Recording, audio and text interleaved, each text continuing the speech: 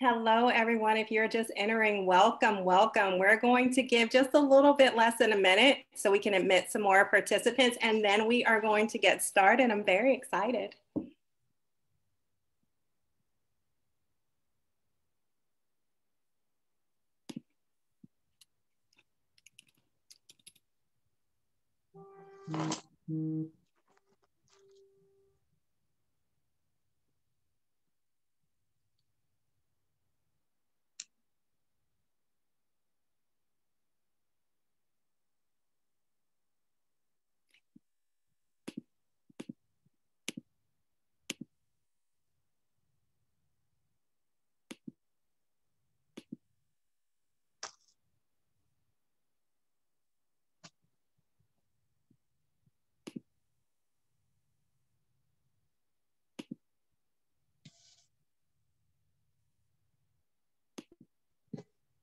Yes, I see a lot of familiar faces. All right, the time is now 7.01.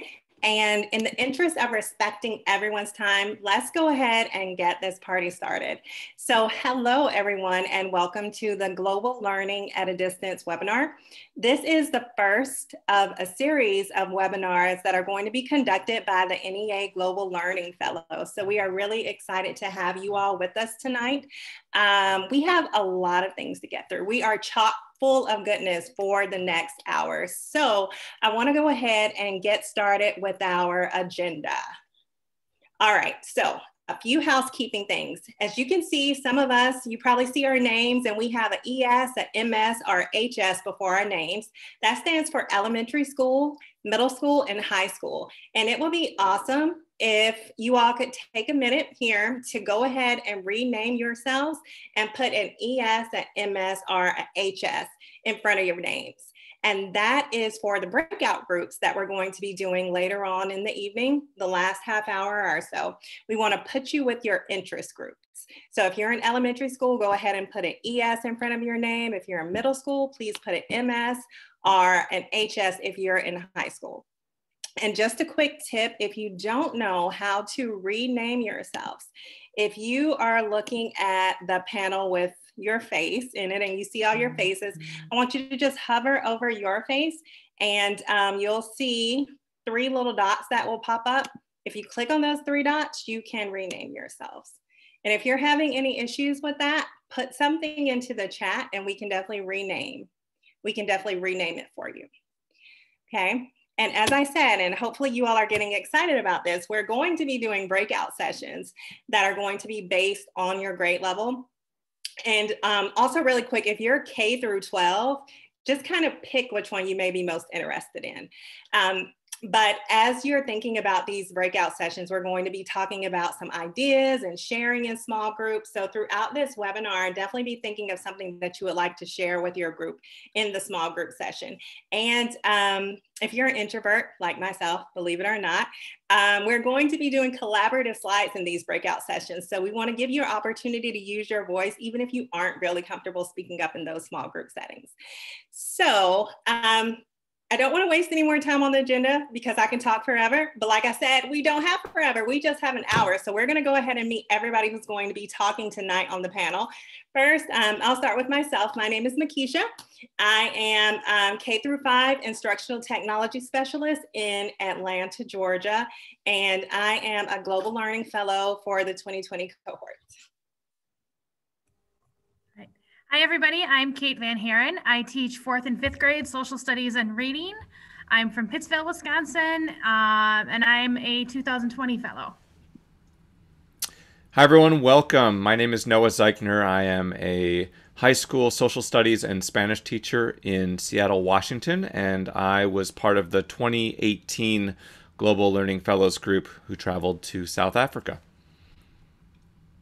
Hi, everyone. My name is Lauren McWehan. I am um, a 2013 fellow.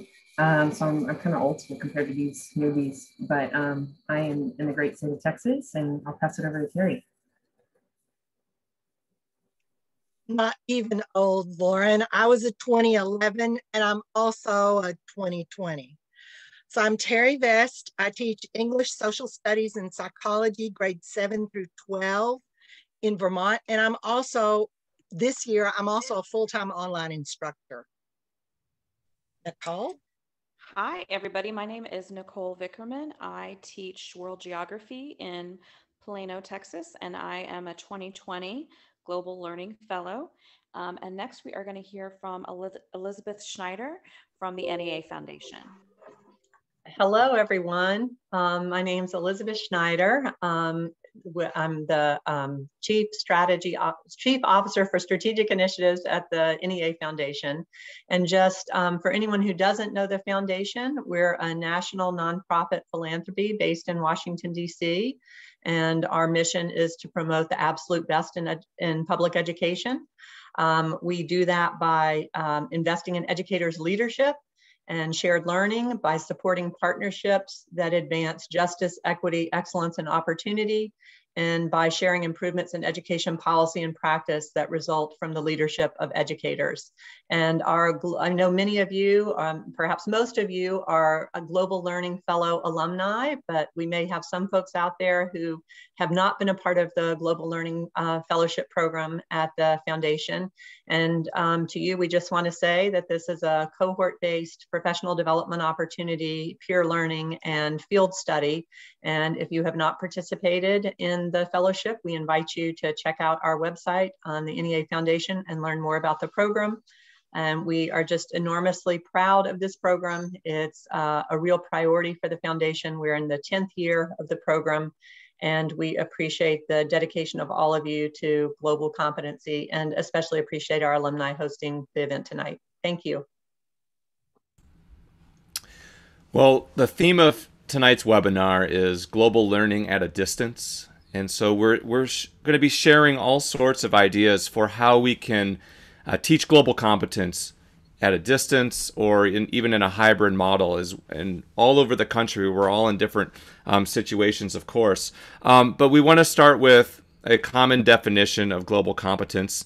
There are many. Um, here is one and this comes from the oecd um, and this is this was used uh, with the PISA test in 2018. It's very similar to other definitions that you'll see out there. Um, global competence is the capacity to examine local, global, and intercultural issues, to understand and appreciate the perspectives and worldviews of others, to engage in open, appropriate, and effective interactions with people from different cultures, and to act for collective well being and sustainable development.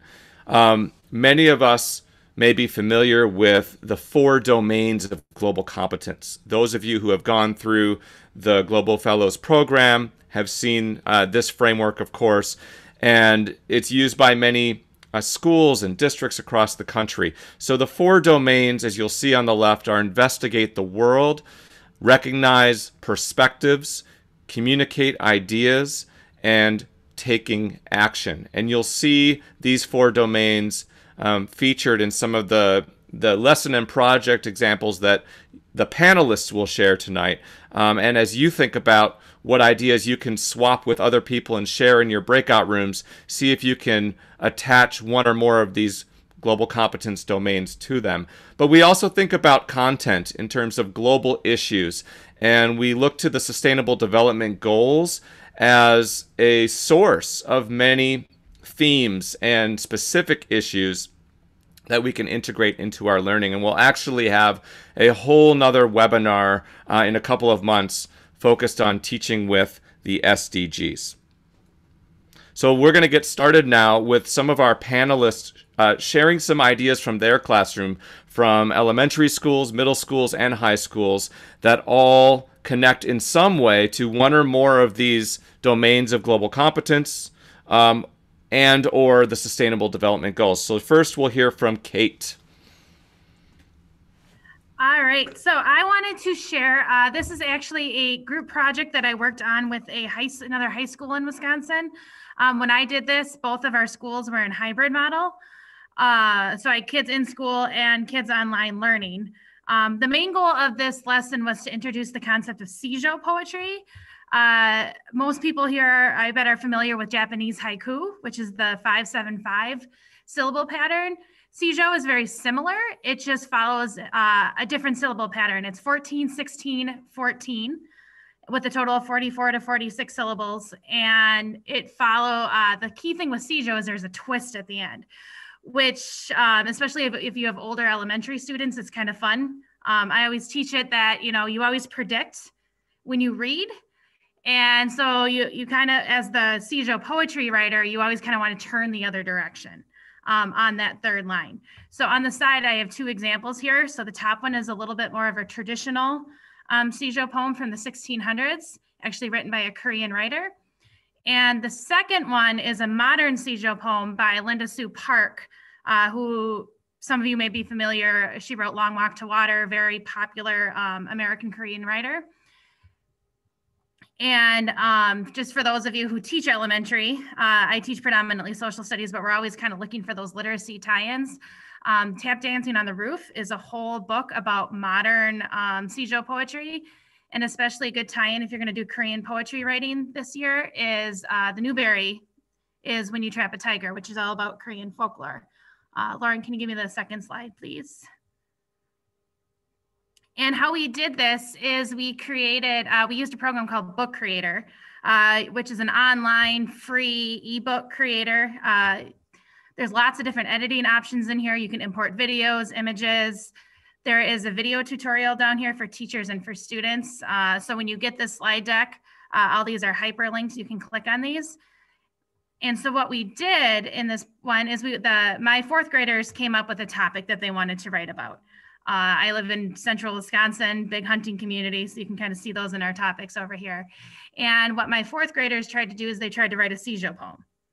Uh, some were a little bit more successful than others, but then what they did is they sent their poems and their topic to the high school students in um, who were also in the hybrid model. And the high school students wrote or took the kids topic and they wrote a little bit of a more complicated issue or a more complicated poem, excuse me. So these are what the poems, these are PDF images um, of what the book will end up looking at if you print them out as PDFs. Uh, you can share links, uh, share links so there's an ebook version and these can be interactive. Uh, these pictures of my kids here, these are actually videos. Uh, so when we sent the books out to the communities, they could see the kids reading them and it's I actually put it on the other slide. Um, Lauren, can you go back for a second? Is the link up here when you get the slide deck? If you click on this, this will actually take you to the actual book that my kids created. And then this other link here uh, is a the, the Sejong Cultural Society kind of heads up Sejong writing in the United States. Uh, if you really want to get on the ball, they actually have a poetry contest, a Sejong poetry contest, and the poems are due at the end of uh, the end of April, and they have a junior, like middle, and adult category if that's something you would like your students uh, to be involved in.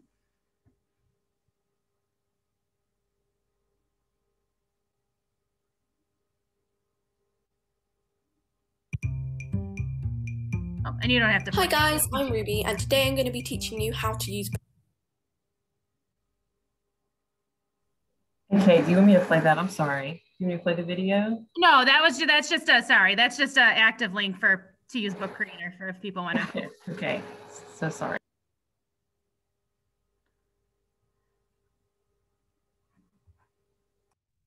Okay, this one's me. So what I chose to do is not to give you a particular activity or project, but instead to share a resource. So I've been playing with earthcam.com and I'm enamored of it. The site has pictures of still, there's still cameras that are posted around the world and they have live feed. So right now, if I clicked on Prague, I would see what was going on in Prague and it would be early morning there. The links also tell you where it is and the time of day, and most of them give you the temperature. I've thought about it for things as complicated as a full activity. For middle school, you could do a treasure hunt. Here's the site, here's a list of countries to look for, and you're looking for this thing. You can take screenshots in the program of every one of the pictures. So if I'm watching the live stream of New York, what I did is I just took a screenshot of it while I was watching it. That allows me to download the picture and give it as part of my evidence to whatever I want to say. So students can take the pictures, students can do things with it. One of the things I looked at, I tried to pick three very different places. So when I did it this afternoon, it was Rio de Janeiro. It was at night when I took it.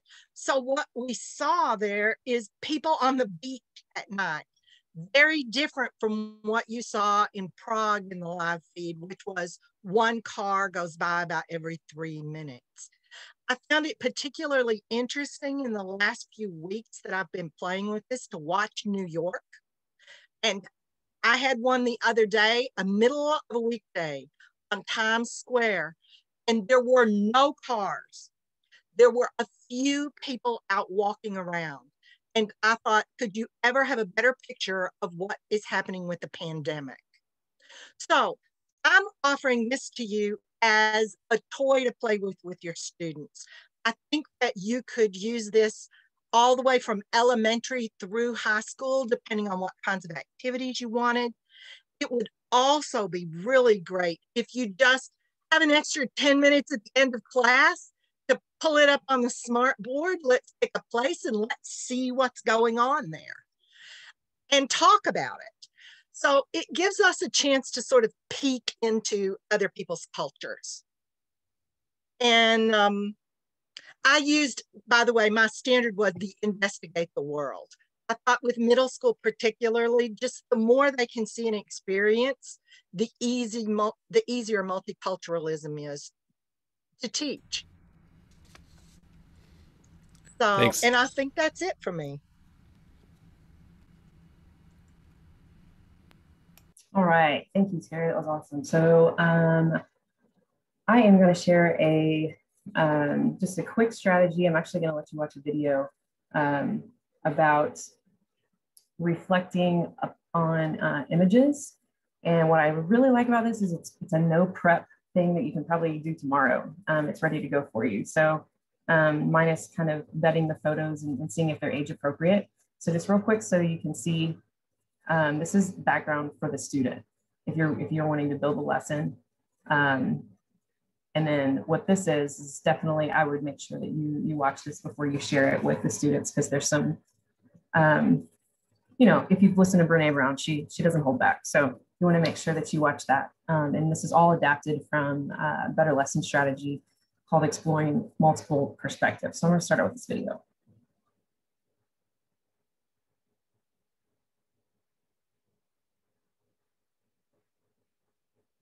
Aperture. VTS stands for Visual Thinking Strategies, and it's an educational technique for people to look at photographs. Um, and it was invented by Philip Yenawine, and we use sort of a modified version of it. Um, the idea is basically you have students look at an artwork and you ask them, what do you see in this picture? What's going on in this picture, and then they make an observation, and then you ask them to back it up with visual evidence. So they can say really anything, any opinion that they have about the work, but they need to be able to back it up with something that they see. To pull from um, Abigail Housen and Philip Yenawine's basic VTS at a glance, um, the steps that they describe are projecting the first image and giving the students a minute to just take it in. Then ask questions after they've examined it. Ask what's going on in this picture. Then ask what do you see that makes you say that and what more can you find? And you can feel free to modify these questions into language that feels comfortable for you. Then when the students comment, the way you respond is to just listen carefully, point to what they saw in the image, paraphrase their comment. You can change the wording, you can add in vocabulary at this time, but not the meaning. Um, accept each comment neutrally, and then link answers that are related and link them to prior knowledge. So what's going on in the picture, everybody? Yeah, what's going on? There's somebody doing their laundry and they're putting their clothes away. Mm-hmm. Or they're putting their clothes into the washing machine. Putting their clothes what? Into the washing machine. Mm-hmm. And what do you see that makes you say that's what's happening? Um, the person's either taking out the bag or putting the bag into the carriage. Okay. Yeah, so they're either taking it out or putting it in. What else is going on in this picture? What else do you notice? I feel like it's the inside and the outside of a person that has been unleashed. Okay, so as you can see, that will continue, and I'm not going to play the whole thing, but um, what they, uh, what the the narrator really talks about is making sure that you're not leading the students and encouraging them to um, to think what you want them to think or inserting your own opinions. And so that I just wanted to give you a teaser so that you knew to go back and watch that. Um, and uh, you can even show that to your students, I think, to, to help model how to, um, yeah, to talk through these. And then the link is here for you when you're ready. Um, but as you can see, some of them are pretty powerful. Um, and some might not be age appropriate. So you, you want to click on this before you display it. But I figured you could do a quick right click and put it in a Google slide. Um, um, and I just feel like the possibilities are endless with this. So with that, I'm going to move on to the next person. Okay, so um, I teach high school, but there are some of the ideas here that can be adapted. I went to the Arctic on an educational trip a couple years ago, and I was trying to think of a hook to pull kids in. Um, and I came up with the idea of them doing a lawsuit. I got this idea because some environmental groups in the United States have started to do this suing on behalf of rivers, for example. And so um, the students are then lawyers and the animals are their clients.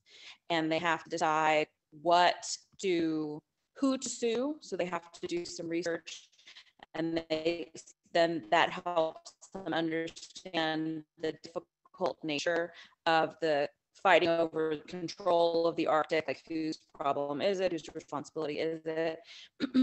and um, one thing I didn't expect why I think this lawsuit idea could can really work in a lot of um, contexts is the idea of making an argument with evidence. You know, we're always talking about using evidence, and some of the earlier presenters mentioned that as well. For whatever reason, in the context of a lawsuit, it really seemed to click for some of them better than it had in other places. We did this in the middle of the school year, and you know, students I had been you know, you need more evidence, you need more facts. All of a sudden, they're like, oh, well, I get it. It's a lawsuit, and so I have to prove it. Yes, that's what I've been saying.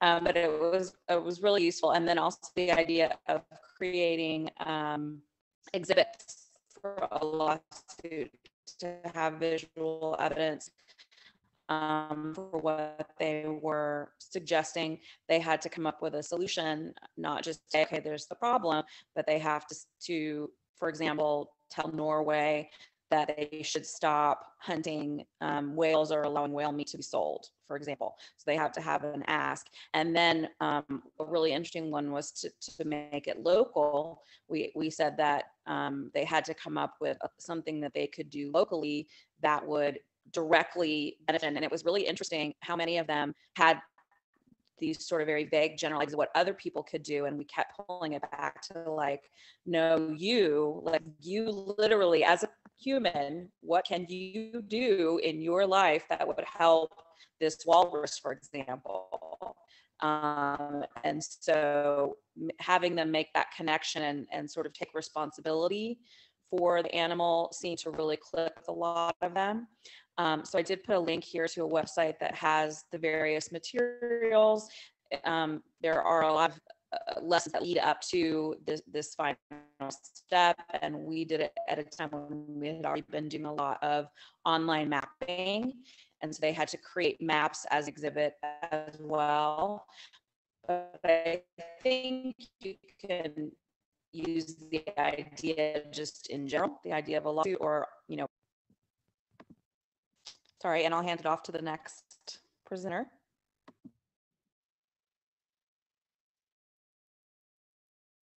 Sorry, first let me unmute. Um, let me just say before I start, Nicole, that was awesome. I feel like I, you know, I'm sad that I have to follow that because I mean, that was such a cool idea, and I can't wait to share that with um with some of the teachers that I work with. That was awesome. So um, the project that I'm going to be sharing is actually pretty simple, but I think that in the times we're in now with remote learning and hybrid learning, um, there can be a lot of power in simplicity. So this project is actually pretty simple. We did it with the elementary school. Um, we had pre-K, kindergarten, and first grade working on this project. And um, what I found in my position as a K through five instructional technology specialist, I get to work with all of the teachers and I'm constantly saying, okay, can we do this? Can we can do this? What's the easiest way to get something done? And what I found is that if you connect on standards that you already know you're going to cover, and if these are national standards where you know other grade levels are going to be covering the same thing, it makes it a lot easier to find connections and find something to do without having to come up with another idea. So this was something that our first grade students, weather, weather is huge. Um, so we just connected with other classrooms along the same grade level all over the nation on weather because we knew they were going to be talking about it. So that was an easy way to kind of get connected. Um, something else that I would suggest, especially now during the remote environment or hybrid environment, is pick an easy tool that's user friendly. Um, this is Google Slides, and all of us collaborated on Google Slides. So that was something that was um, easy. Everybody, everybody knew it, and especially in a time like this, I don't really suggest, you know, learning something new unless you have to learn something new. Um, my philosophy this past year has definitely been, you know, less is more. Let's stick to what we do and let's do it great. Um, and Google and Google Slides is just one of those tools that everybody know is easy and it made this project really easy as well. And so when we're talking about global learning and the different competencies, you know, and when you're wanting your students to have that global perspective, when you connect them with other students around the world, or it doesn't even have to be around the world, right? Like this was just, we, we only connected with people in this particular project, you know, here in the United States, but our students still got that big global perspective because they're learning about what weather is like here in Atlanta and you know what weather is like here in Hawaii. So they're getting perspectives of other students. And this is a good project that can also be done remotely. Students can go outside and do a weather report and then have their parents record it and that can be shared in a Google slide. So that's one of the reasons that I wanted to share this project right now because of the simplicity of it. Um, and it's something that can that can be done while students are at home sharing what they know about the weather. So we are going to go on and I think Noah. Yeah, so I'm going to be really quick because we're going to transition in a moment to our breakout rooms. But I, I wanted to, to sneak in an example um, for um, world language classrooms. And so this is a great project using Google Google Earth. Um, so definitely it works well for remote or hybrid learning or even in-person learning if you're back in person. Um, but this is great for a level one or level two language class where you're learning basic vocabulary. So with this project, we were learning city vocabulary, different locations around a city like schools and libraries and parks and so on. And so each student, um, individually or with a partner, chose a country, um, in this case in the Spanish speaking world, um, and researched actual real world locations. So schools, libraries, parks, uh, national parks, etc., um, and wrote descriptions in the target language about each place and built them into a Google Earth project. And a Google Earth project allows you to create a presentation where you can advance through slides. You can have um, street level view, um, 3D views, overhead views, and students can talk about um, these different places using the target language and using the vocabulary that we're, we're practicing. So, um, contact me if you want some more details or materials for this project.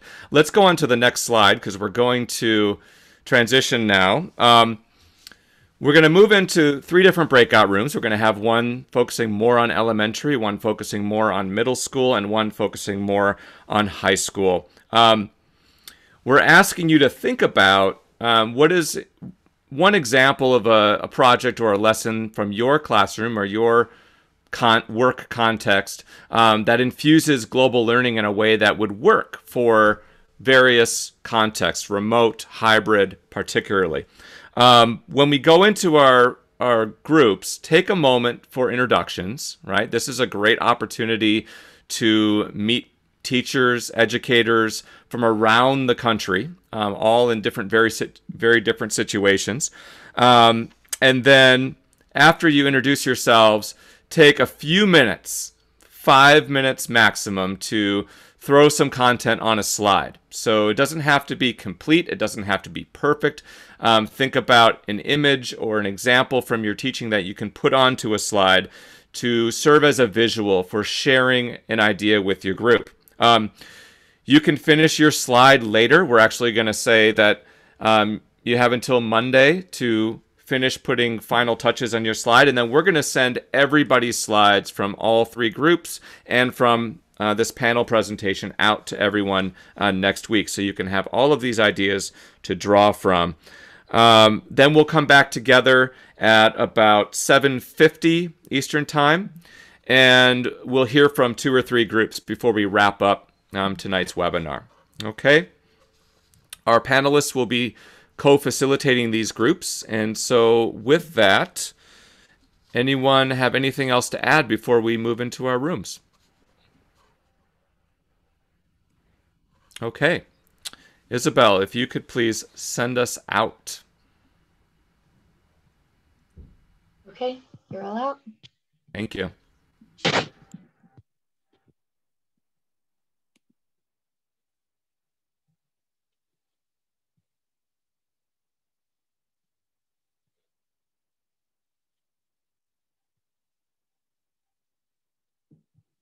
Hi, Elizabeth. You're on mute right now. should I hop in one? Are you going to go in one? Yeah, I'll probably bounce around the different rooms. Okay. Um, can can I test something with you? Yeah, go ahead. If yeah. you click on the breakout rooms at the bottom, oh, you froze.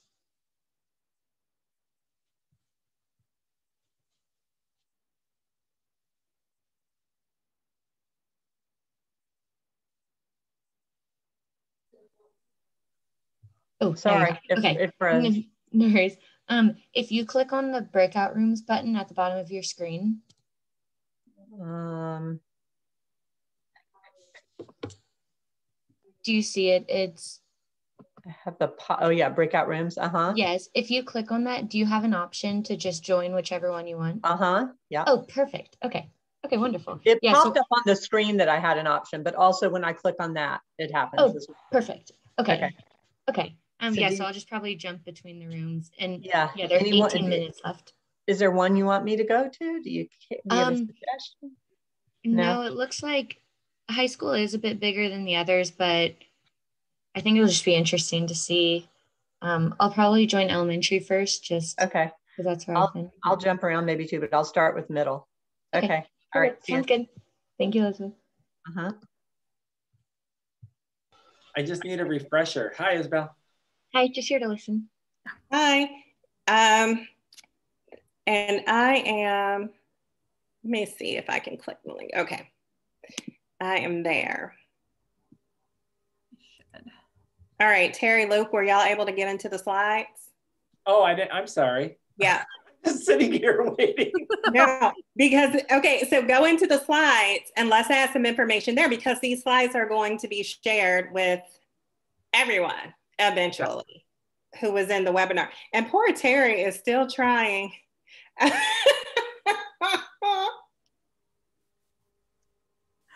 Terry, can you type it in the chat?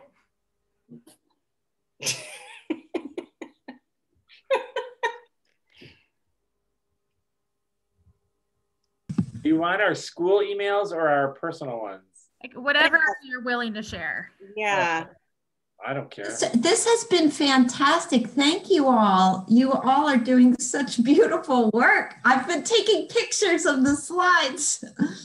And we will we we'll send it out to you, Terry, too, so you'll have the slides because I lot of Oh, them- beautiful. That's even better. So, I'm sorry that took me a minute. I'm having a little computer problem, but I'm here now.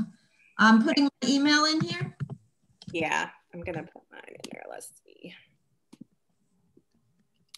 Is- Did I do what you wanted me to do? Mm-hmm. and if you have any like cool ideas that you things you've done or good resources to share with people, you can put those in there too. And also, I don't know if you're like, I'm the elementary teacher that I'm a perfectionist. So we won't send them out until Monday. So if it's something you want to go back and make look pretty, you have you have a couple days to do that. Well, how do I get rid of the slide that has my name on it? You don't want it anymore? No, I I do I just I don't know what I'm doing. We each have a slide. How cute is this? Oh, I have to make it. you have to make it. You have to like put your name on it, claim it. I and- see. Okay, I'm catching up. and then you can put like some ideas. And you don't have to add your per- your like social media or, or email unless you like like I'm want people to try to contact me if they want to do collaboration. So I want my stuff in there, but you don't have to if you No, I, I want to collaborate as much as possible. yeah.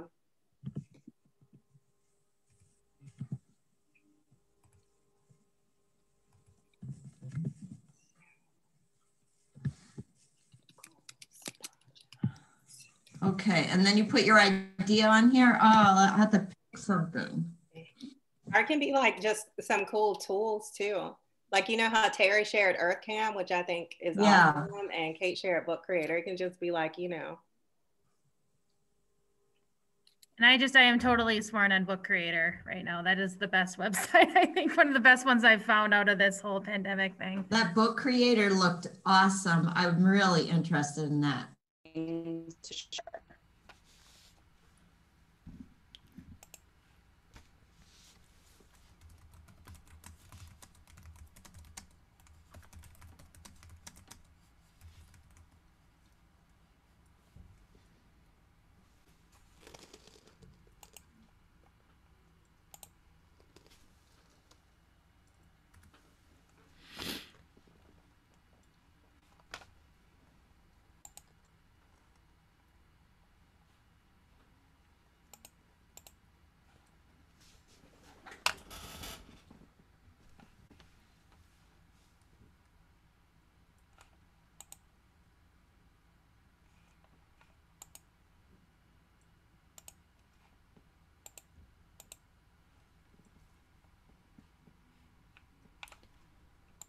This is exciting. I'm already seeing some really cool things being shared.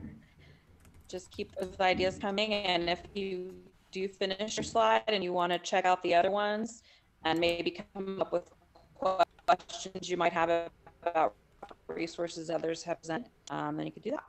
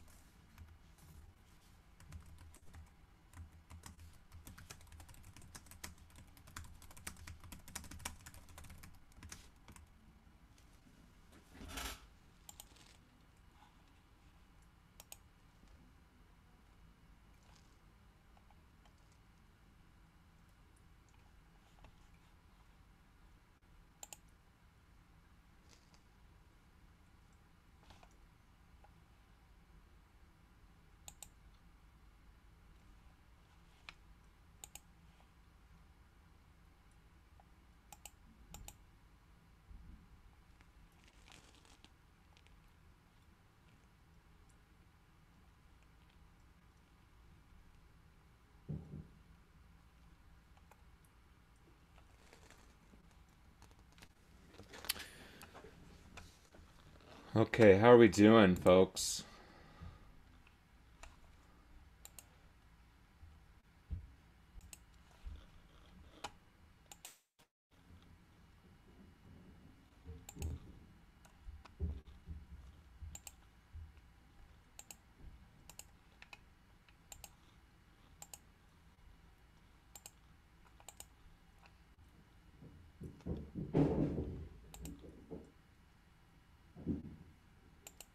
Cool.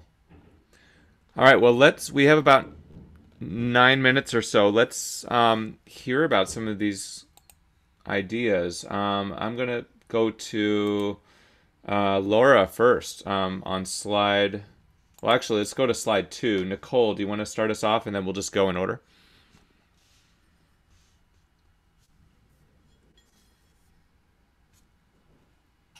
Sure. I apologize if, uh, if I have audio issues, um, but I just shared a few resources um, that have brought me a lot of benefit, brought my students a lot of benefit. Um, National Geographic is a group I know Noah has worked with and Ali as well.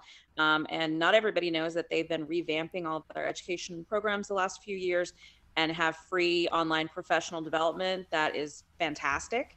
Um, also, in terms of traveling for educators to bring the world back to your classroom, um, the Fund for Teachers is another great resources for resource for that. And then I put a link for the uh, lawsuit from the other um, that I mentioned before. Very good, very nice. And I will just say, I'll put Laura on the spot here. If you, if uh, of she is the expert on teacher travel, um, as far as I'm concerned. So if you have any questions about any, once we are able to travel again, Laura is your person. She's done most of the programs that exist. All right. So I wish that were true. go ahead, Laura. Okay, so uh, the two that I talked about, one of them is Radio Garden. And so it has a map of the globe, and you just spin it, and then you key into a city, and it plays a local live radio station. And so we have that on the in the background just during class, and the kids are just amazed because it's like 80s songs and 90s songs, and they're like, "Why are they in English?" So then we can talk about, you know, hmm, there's a lot of English songs out there, but then when it switches to commercial, you know, then we all get real quiet and like listen to whatever the language is. Um, the other one that we just started using a couple weeks ago is explore.org. Um, and it was very similar to the city webcams, but these are all nature webcams.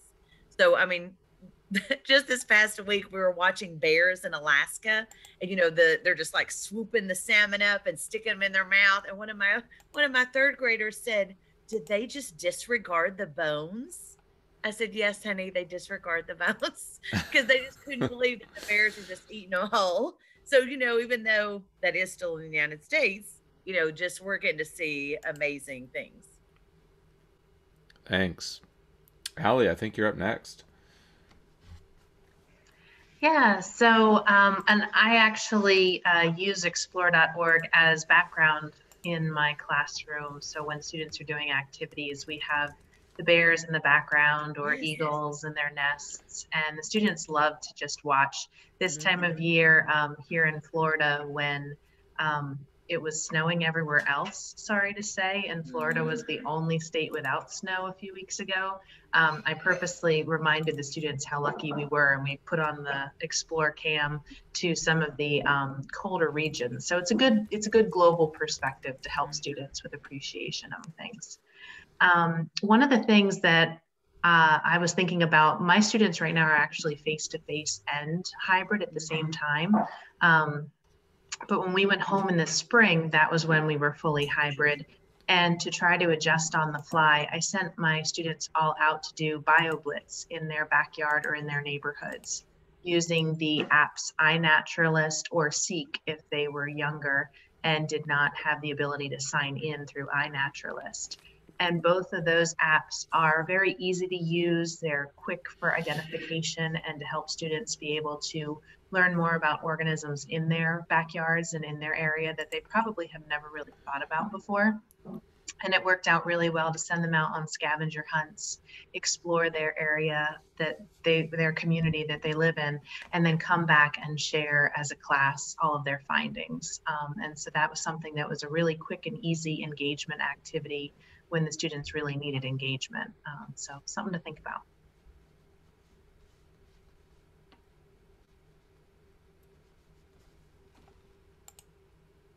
All right.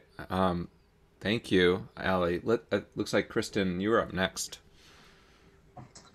So I actually have not used this with students yet, but um, I saw it on TikTok and I've played it myself a few times. It's called City Guesser, and you click on it, and it's video of places you can um, narrow it by country, you can narrow it by Europe or continent, um, United States, different things, but you um, have to guess where you are. And it's really cool because it's audio and visual, so you can hear people talking.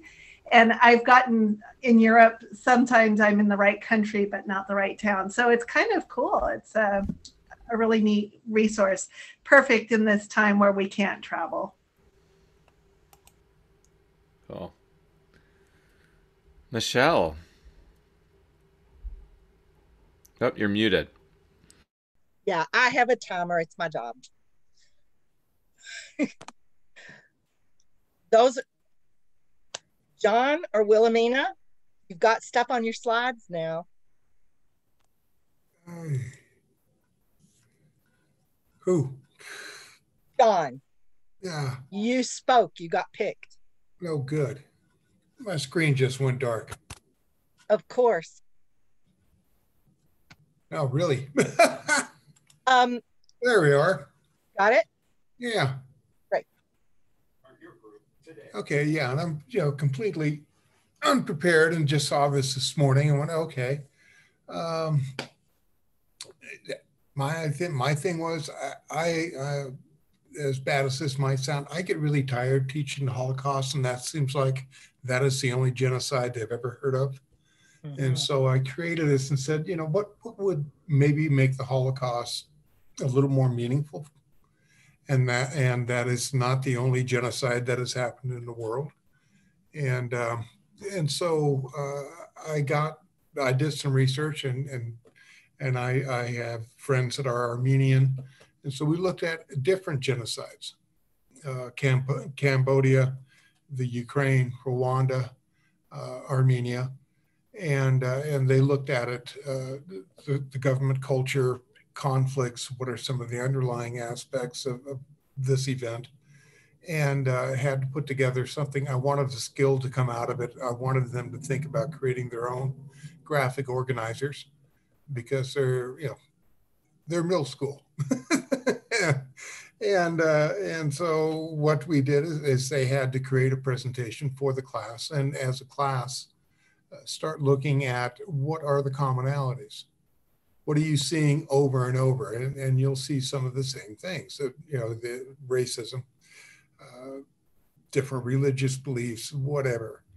Uh, the inconvenience of having the people there in the case of the UK, Ukraine, and um, and so when we looked at those and we got some of the commonalities and and uh, talked about them now we looked at the holocaust. It is to look out and this and that.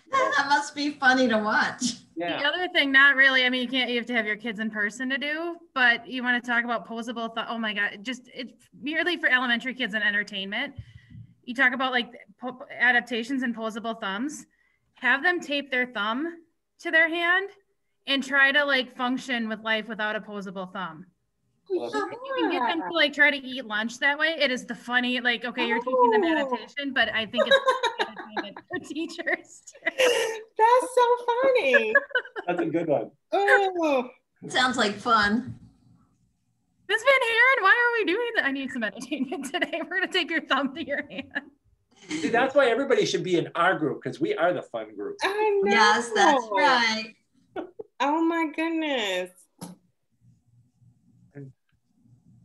All right, I'm looking at the What? time. Looks like we got about a minute. Is that correct, Isabel? Yep. A minute in. Okay. Well, it's fun talking to you all.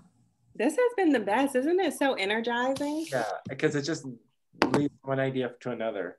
Mhm. Another one, good one too, and my wife is an elementary music teacher, so then of course comes the plethora of songs, you know, in addition to the the you know the many kinds of books that you can use. But um, here's one. It goes. It's a Japanese rock, scissors, and papers. Say, say, say, no, yo, yo, yo, and they go ochalaka, ochalaka, ochalaka, hoy, and then they do the rock, scissors, or papers, and they play the two out of three out of that, and that is fabulous because now they take a game that they know how to play. So I'll, sometime next time we're together, I'll teach it to you and we can play against each other. But when you all they have to know is ochalaka, ochalaka, ochalaka, hoy. and, and Oh, then, that's then fun. you have to say, I honor you at the end, whoever wins the two out of three. Oh And my look again. gosh. Yeah. I, feel like that. if they learned that, they would never, I would hear it all the time. Well, that's all I hear. Mm-hmm. So next time I have another song. Okay, see ya on the other side. I love it.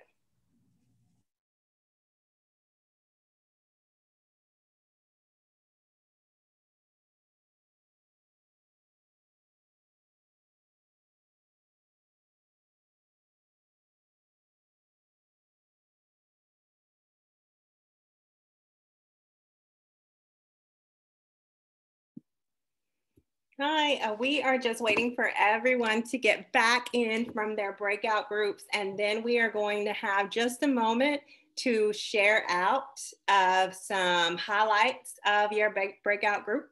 Um, so I'm going to give everybody just a minute to get back.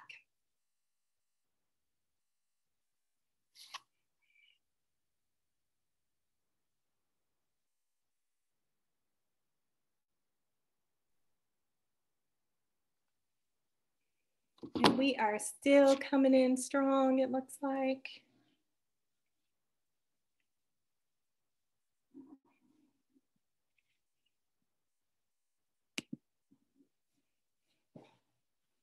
Isabel, I'm rocking the shirt today. I Laura- noticed Luke. Oh, I should have worn mine, Luke. Looking good. I should have worn mine too. Oh man, we have to plan this next time. I know. I didn't get the email about the t-shirts, Luke. Right. Shoot. Okay. Next time. Next time. Laugh me out. All right, so it looks like most of us are back now. Um, and I don't want to brag on the elementary school group, but I feel like we had a pretty awesome, pretty energizing 20 minutes there where we just shared amazing ideas. So I would love to hear from somebody. If you were in a group and you heard something that was great and you think it would be great for the benefit of the group to share right now, we would love to hear you. So we have a few minutes for that before we get into our ending. So if you want to share, just go ahead and speak up.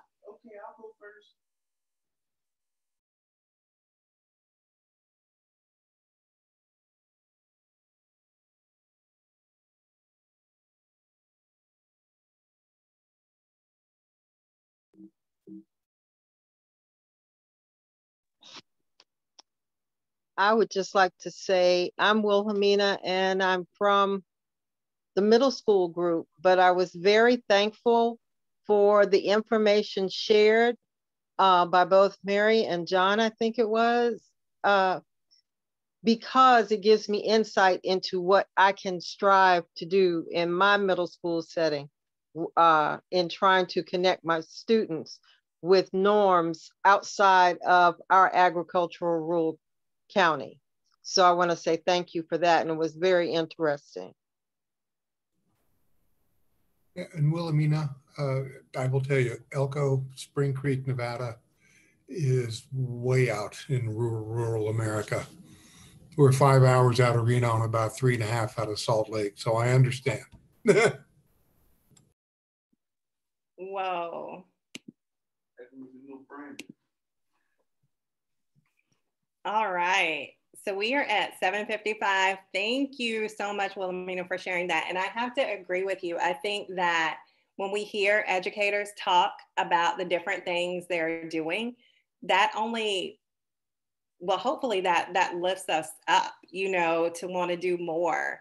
And um, so yeah so i love that you you got what you got from your group and um, like we said earlier we're going to be putting all of these slides together um, and sharing it with everyone. So definitely, if you didn't add anything to your slide today, but you heard something or thought of something that you would like to add, you still have time to go in and add that because, you know, I think this sounds kind of lame, but I don't care. I'm going to say it. Sharing is caring, right? Like we can only make each other better by sharing what we know. So um, I really hope you all will take the time to add to some slides. And, you know, um, if you want to do collaborative activities, put your information on there and, and reach out to each other and get connected on some of these ideas.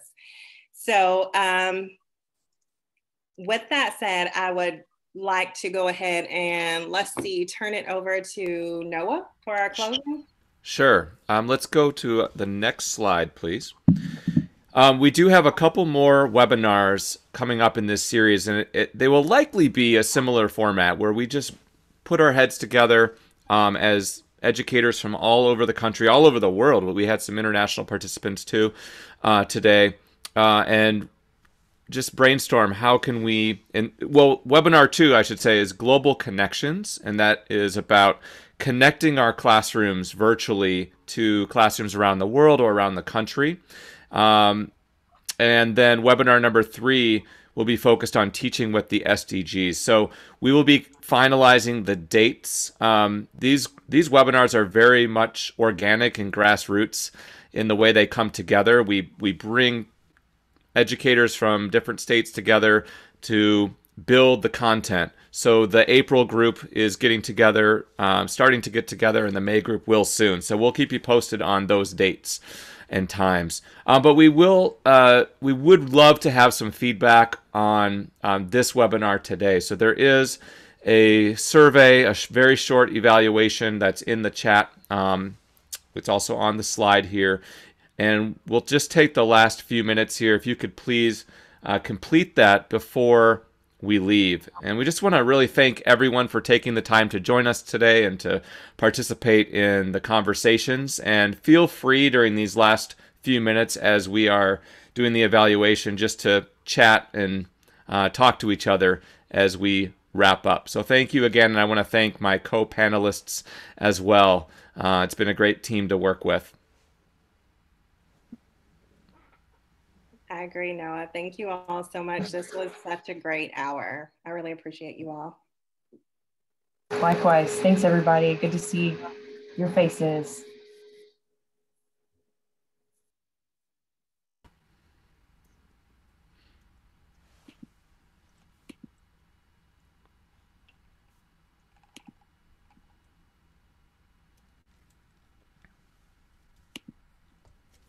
We do appreciate you filling out the survey. We look at this and um, and we appreciate the feedback and we're going to go in and make adjustments for the next webinar. So all of your feedback is so helpful. So thank you. We appreciate it. Be honest.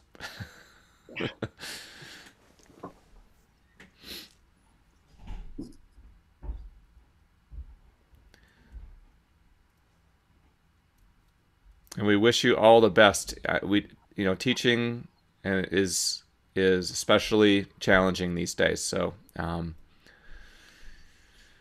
whether you're remote or hybrid or in person or a combination of those three, uh, hang in there. Um,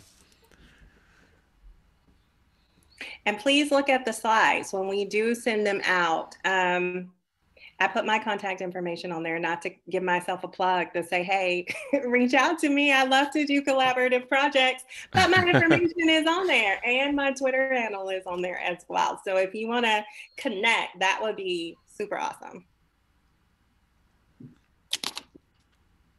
All right. Thank you all. It is eight o'clock on the East Coast, five o'clock on the West Coast. Hope you all have a great evening. Take care.